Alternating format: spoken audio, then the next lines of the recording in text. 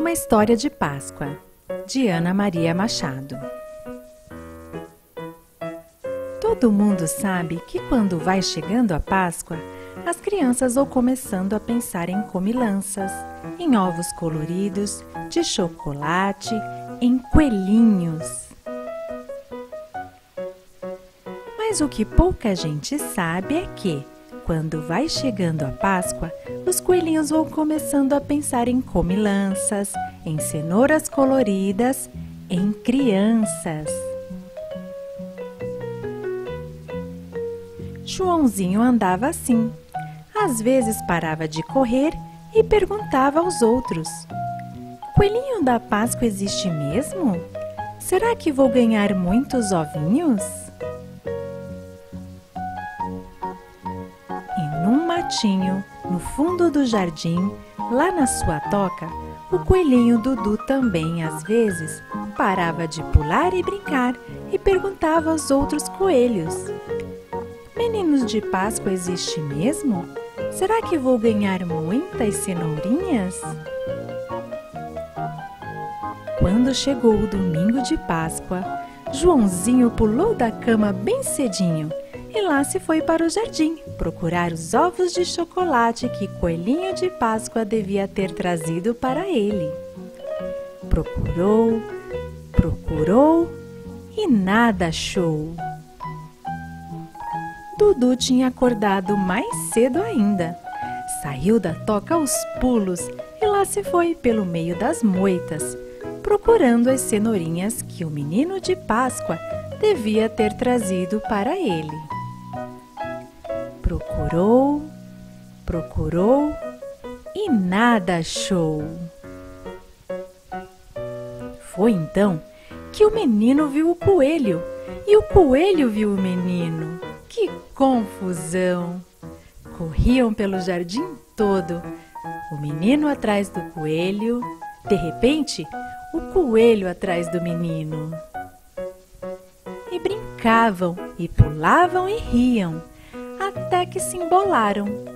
Dudu segurou a camisa de Joãozinho. Joãozinho segurou as orelhas de Dudu. Bom dia, coelhinho de Páscoa! Você estava atrasado. Até pensei que você não vinha. Bom dia, menino de Páscoa! Você estava atrasado. Até pensei que você não vinha. Ué, é você quem traz os ovos de chocolate para mim? Falou Joãozinho. Ué, não é você que traz cenouras coloridas para mim? Falou o coelhinho Dudu. Os dois conversaram, ficaram meio tristes e cada um foi para sua casa.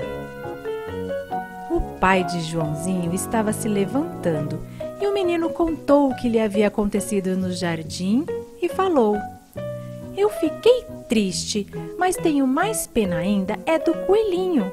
Ele queria tanto mais cenouras coloridas.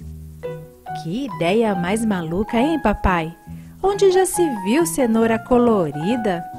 Ia ser tão bom se a gente pudesse ajudar o coelhinho. Então vamos dar um jeito. O pai de Dudu estava levantando e o coelhinho contou o que tinha acontecido no jardim e falou: Eu fiquei triste, mas tenho mais pena do menino. Ele queria tanto uns ovos de chocolate coloridos. Que ideia mais maluca, hein, papai? Onde já se viu ovo de chocolate? Ovo é de clara e gema. Mas ia ser tão bom se a gente pudesse ajudar o menino.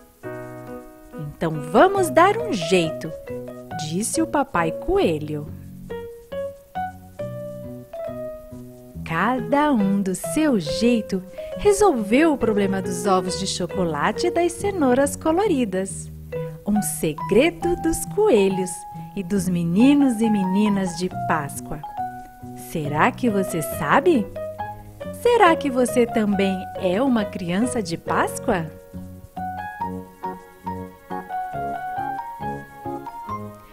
Espero que tenham gostado da história e até a próxima!